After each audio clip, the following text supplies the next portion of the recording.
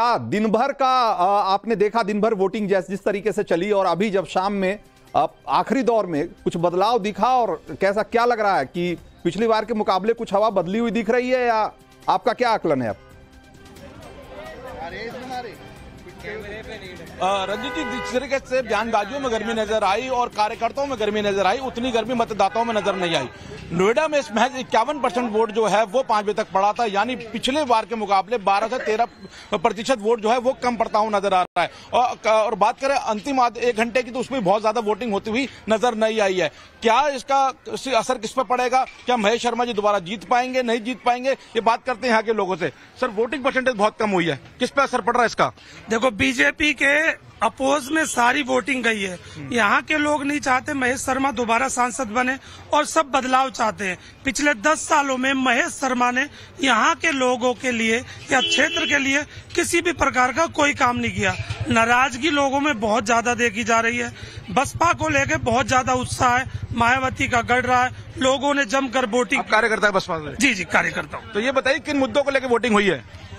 मुद्दों शिक्षा और चिकित्सा और जो बहन जी ने अपने सरकार में काम किए उन मुद्दों पे अब की बार वोटिंग है बदलाव की उम्मीद है। इस बार महेश शर्मा जी देहात से शहर में शहरी वोट कम परसेंटेज हुआ है। इस वजह से हुआ कि गर्मी की वजह से शहरी वोटर निकला नहीं है। इसलिए देहात में अच्छी परसेंटेज बसपा को मिलती नज़र आ रही है इस बार। ठीक है। तो जो कार्यकर्ता हैं जो कार्यकर्ता हैं उनकी उनकी भाषा कमोवेश सब जगह एक जैसी ही है। कार्यकर्ताओं को लग रहा है कि जो वोटिंग कम हुई है, वो दूसरी पार्टी की, के लोग नहीं आए हैं। लेकिन असल में जब नतीजे आएँगे, तब समझ में आएगा कि ये जो वोटिंग कम हुई है, उससे नुकसान किसको हुआ है। तो एक बार ज्योति मिश्रा के पास चलते हैं। ज्योति, क्या माहौल है वहाँ? अलीगढ़ में।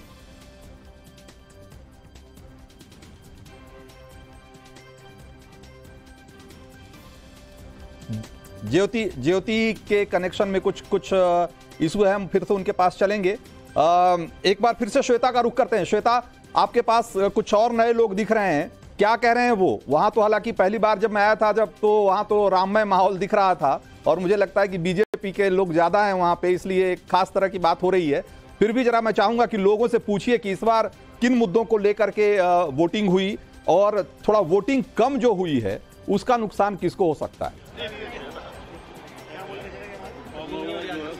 बिल्कुल मैं इनसे बात करती हूँ आपने सही कहा इनके लिए जो मुख्य मुद्दे हैं वो बीजेपी ओरिएंटेड ही हैं राम मंदिर इनके लिए बहुत बड़ा मुद्दा है और खासतौर पर जब मैं लगातार इन लोगों से बात कर रही हूँ तो इनका ये कहना है कि हमने यहाँ के कैंडिडेट को वोट नहीं दिया हमने सीधे मोदी जी को वोट दिया बताइए जी हमारा प्रत्याशी कमल का फूल है नरेंद्र मोदी जी जो राष्ट्र सेवा कर रहे हैं जो राष्ट्र का विकास कर रहे हैं उसके लिए पूरी क्रॉसिंग की जनता वोट करती है हाँ हमने मोदी जी को वोट दिया है मोदी मोदी मोदी मोदी मोदी मोदी मोदी मोदी सर आप कुछ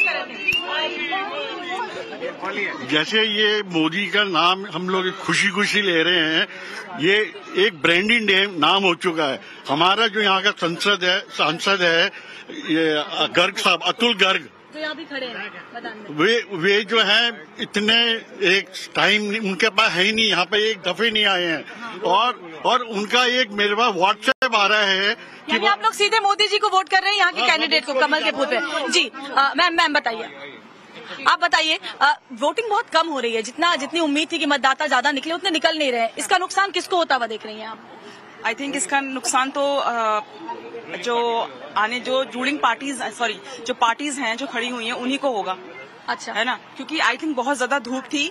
अगर ये थोड़ा सा उसके लिए कुछ मैनेजमेंट हुआ होता ताकि लोग धूप से बच सकते तो ज़्यादा अच्छी वोटिंग होती। जी, जी थोड़ा टाइम और बढ़ा दिया जाता तो जो सीनियर सिटीजन्स हैं वो आकर और लंबे टाइम तक वोटिंग कर सकते थे। ठीक है। आपको क्या लगता है किसको नुकसान पहुंचेगा? जरा हम अपने अपने मेहमान का रुख करते हैं एक बार। हर्षवर्धन जी। हर्षवर्धन जी मैं ये कह रहा हूँ कि लोग जो जहाँ जिस तरह के लोग जिस तरह के कार्यकर्ता उस तरह की आवाज़ें हैं उस तरह की के विचार दिख रहे हैं। तो कार्यकर्ताओं के भरोसे अगर आप फीडबैक लेंगे तो कई बार गलती हो सकती है।